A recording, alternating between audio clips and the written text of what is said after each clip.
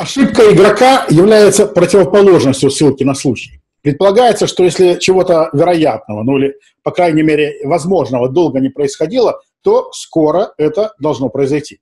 Пример тому поговорка преферансистов «к утру карта попрет».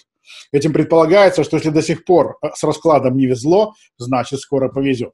Э, пытаясь подкрепить этот аргумент школьными воспоминаниями по комбинаторике, игрок прикидывает, что при колоде в 32 карты вероятность обнаружить два туза в прикупе составляет от 1 к 40 до 1 к 80, в зависимости от того, есть ли у него уже на руках тузы или нет.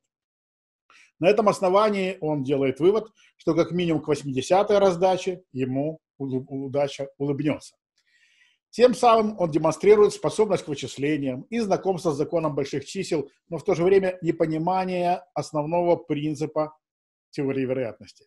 Прошлые случайные события абсолютно не влияют на будущие случайные события. А, согласно закону больших чисел, если вы будете подбрасывать монету 10 тысяч раз, то поскольку вероятность выпадения орла или решки составляет 1 к 2, то примерно 5 тысяч раз должен выпасть орел и 5 тысяч решка.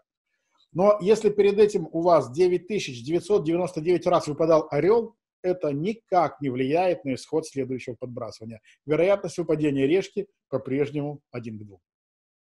Точно такую же ошибку допускают те, кто думают, раз мне все время везло, то будет вести дальше. Это мой счастливый день.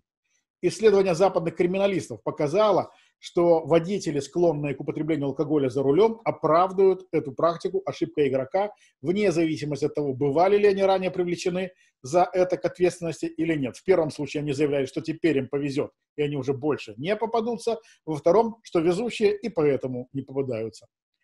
Впрочем, если ваши друзья заявляют, у, э, у нас уже пятеро сыновей, так что следующим ребенком точно будет девочка – не торопитесь огорчать их рассуждениями о статистике. Просто помолитесь о Божьих благословениях для этой семьи.